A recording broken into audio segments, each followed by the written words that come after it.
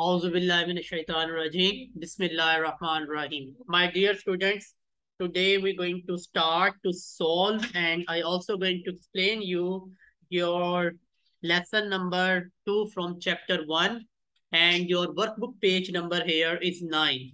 So the student, they already solved, they just verify and the student, they don't know, they will going to find the correct option here. So the first question here, that is number one, dash contains only closely related organisms. Yes. The option, the option correct is here. No. No, fine. Contain only closely related organisms. Not like this. E. The correct option is E. So E for species. Okay, that is the correct option here in number one. Now, after this, the, sec the second statement, the dash broadest group into which an organism can be classified. What is that one? Number two, C. C. Well done. That is kingdom. So here we're gonna write C. Now number three, number three dash helps scientists identify, study, group, and name organisms.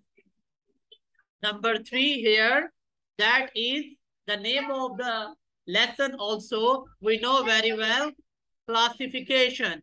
So the correct option is here, A. Well done.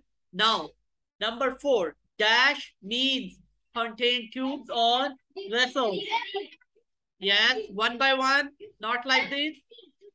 So the number four, the correct option is F, mean to say vestibular. Well done, very nice. Now, that is the easiest one. You know very well about this one. Number five, animal without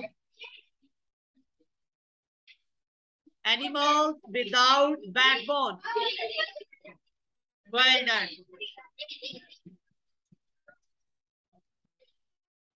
Without that the without the backbone.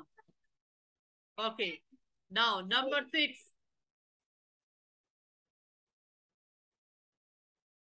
Six dash type of plant that tends to be small and close to ground. You know very well. These, they don't have tubes in their body, yeah? There is no proper, yes?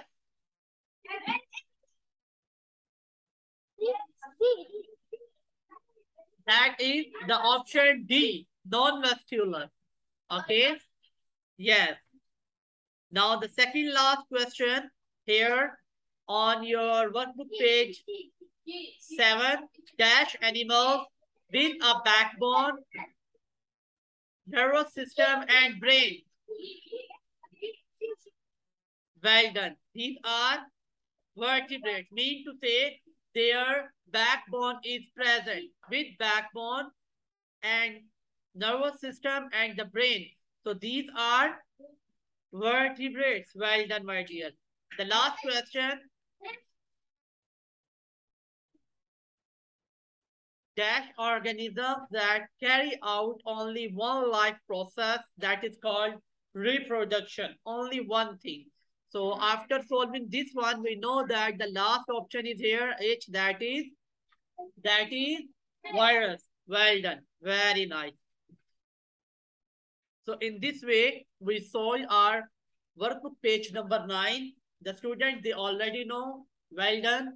And if they have some doubts, try to uh, correct it. Thank you very much.